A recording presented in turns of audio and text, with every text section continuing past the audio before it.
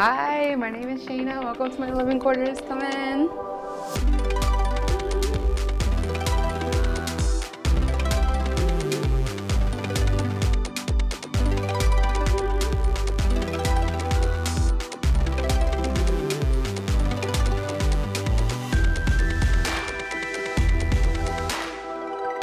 I have all these paintings I've been working on in the past couple of months.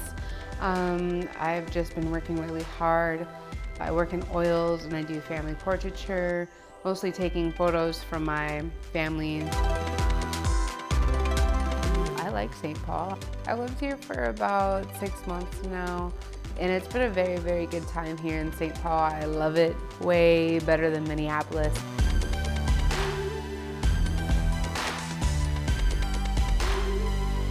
Painting process is really hard, I will say. I discovered different techniques that I like to use when it comes to laying down paint on the canvas from working very small to working very large.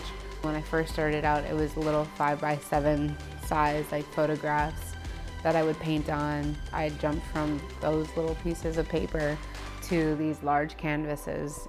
This is a box, a projector box that I got at a National Camera Exchange dumpster. So I started my own little record collection. I have Here I Am by Dionne Warwick. You have to have Stevie Wonder. More Dionne Warwick. The Four Tops. This is their second album, y'all. My great grandmother was from Mexico and I never got the chance to meet her. I've only seen photos. This is my miniature abuelita. I'm a family person. Painting them makes it feel like I'm doing something. I'm giving back to my family. I rely on them for my sources or they're my foundation. I wouldn't be here doing what I'm doing today without them.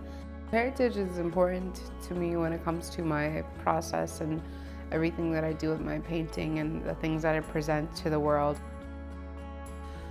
It's not really about what kind of brushes you have. It's about how you use the materials. When I went to art school, a lot of students wanted the best materials. They wanted the expensive paints. They wanted the expensive paint brushes, and not all of us could afford that. So my dad took me to Michael's one day, and he bought the assortment pack. And I was just so upset, and I was being a brat. And you wanna know what? I'm still using these brushes.